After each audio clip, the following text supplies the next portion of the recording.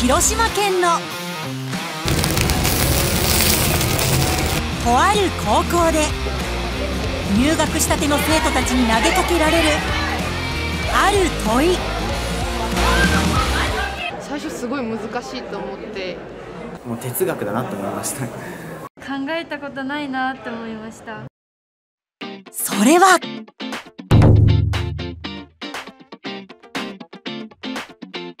6月末広島商業高校。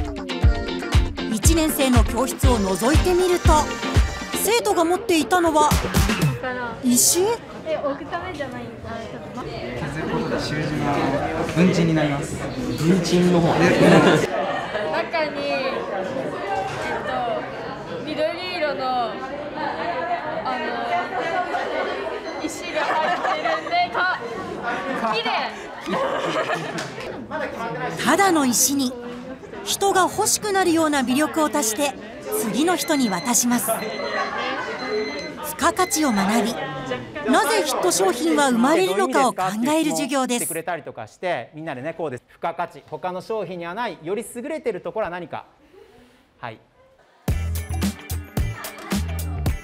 一方こちらのクラスでは生徒たちが生きる今を数字で捉えようとしています。とりあえず今3万6千あ36万。はい、じゃあ3年間の学費はトータルでいくらですか？教えてください。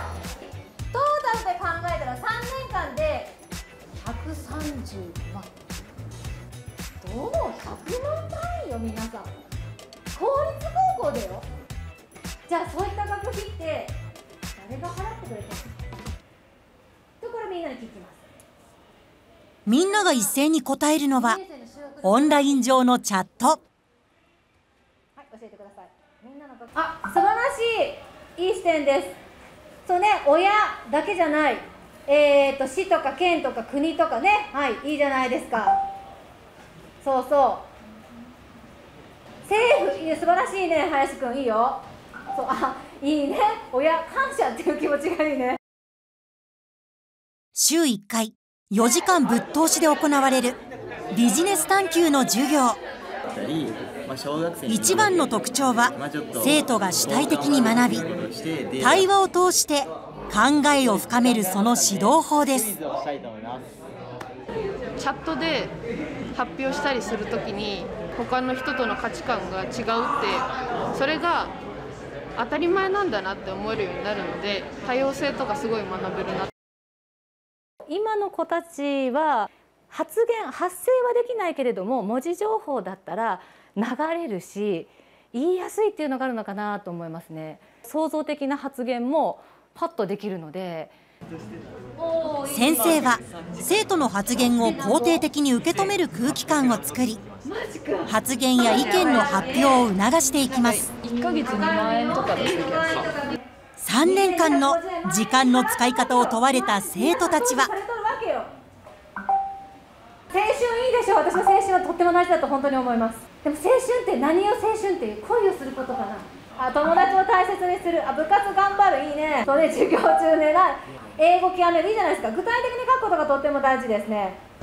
毎週グループごとに意見を交換したり自分の考えを発表することを繰り返し。出た意見を言ってくれたら。2年生になると。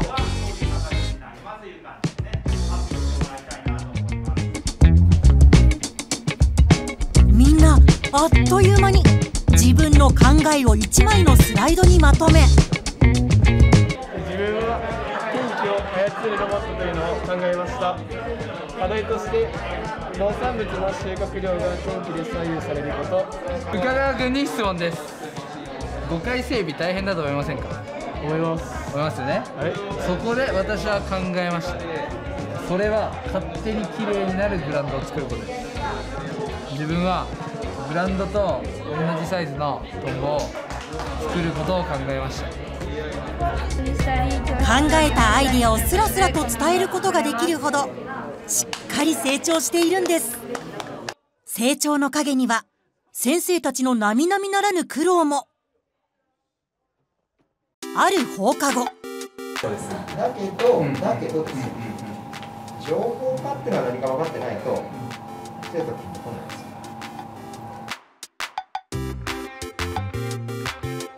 よ変わったもの変化したものを考えてみようだから変わったもの。あるんかね生徒ってだって彼ら生まれた時からあるじゃん確か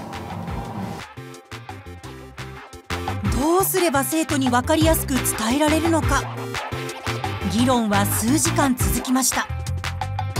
毎週先生たちは試行錯誤しながら授業に臨みます。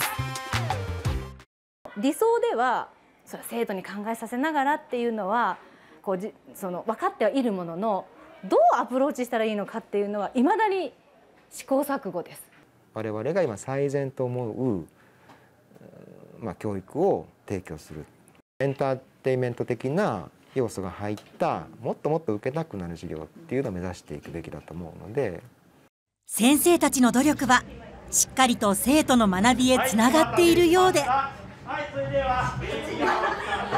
現在3年生の関本さんは入学当初こう振り返ります。生きるとは何かっていうのから始まって考えたこともないしで振り返ってみてやっぱりこうなんか自分で答えを出さなきゃいけなかったのでこう考える力がついたなっていうふうに思ってて関本さんは今年4月自ら考えたゴミ削減アプリのビジネスプランで高校生の世界大会に挑戦しました Um, I am here to tell you about Nomini. It shows that the market size grew by about $20 billion in two years. そして見事ファイナリストに残ったのです。3年前商業高校にビジネス探究の授業を導入した平川教育長はその理由をこう話します。自分で考えて自分で学んでいくっていうまあ今日本中の大命題なんですよ。商業は今すごくまあ生徒たちがまあその結果を出してくれてるかなっていうふうに思ってます。はい、残り2分半です。生きるって何？その学びは生徒たちにどんな未来を見せてくれるのでしょうか？はい、将来の夢お願いします。将来の夢は保守宣言士になりたいです。えー、で将来の夢は、えー、アパレル企業を設立することです。素晴らしい素晴らしい。いいねいいね。将来の夢は、えー、最高の教師になることです。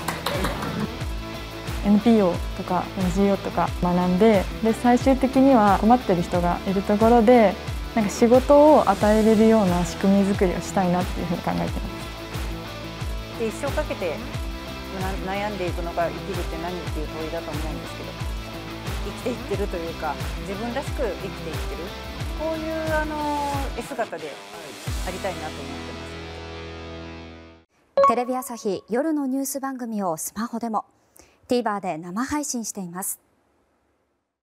サタデーステーション土曜8時54分から。